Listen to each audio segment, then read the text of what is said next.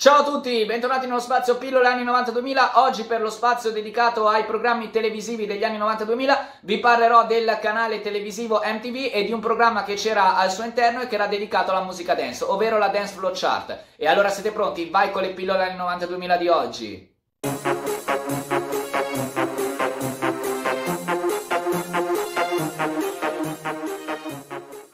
Dunque, innanzitutto vi dico che eh, inizialmente vi racconterò brevemente la storia di MTV e poi eh, vi racconterò invece di questo programma che era dedicato alla musica dance, ma che altro non era una classifica eh, di musica dance. Comunque, per quanto riguarda la storia di MTV, eh, nasce nel 1997 qui in Italia, perché in realtà nel resto d'Europa esisteva già da diversi anni e comunque eh, inizialmente era insieme a Rete A, infatti non so se vi ricordate i primi anni di MTV c'era il logo MTV e sotto quello di Rete A, questo fino al 2001 quando poi MTV si stacca da eh, Rete A diventando MTV Italia, mentre invece Rete A diventa prima Rete A All Music e poi All Music, come vi avevo raccontato appunto nel eh, video su All Music, sempre nello spazio eh, pillole anni 90-2000. Eh, per quanto riguarda quindi MTV Italia poi eh, prosegue la sua attività anche se con diversi cambiamenti eh, negli anni, poi passa al digitale terrestre perché inizialmente era invece sulla TV generalista, dopodiché a partire dal 2015 invece passa definitivamente eh, su Sky. Infatti ancora oggi se volete vedere MTV Italia lo trovate soltanto eh, su Sky.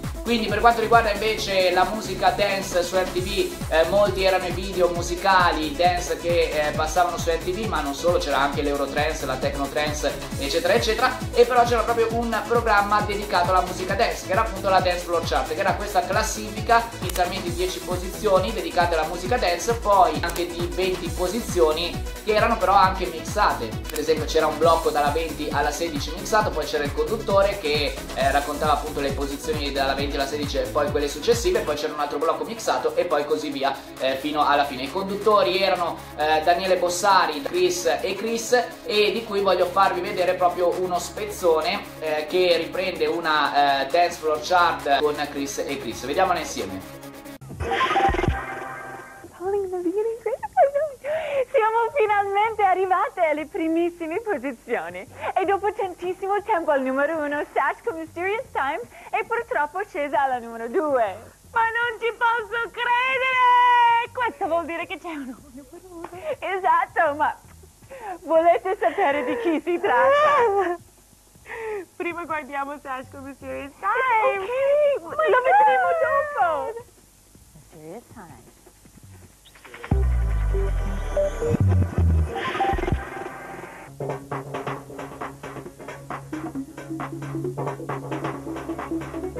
Thank you.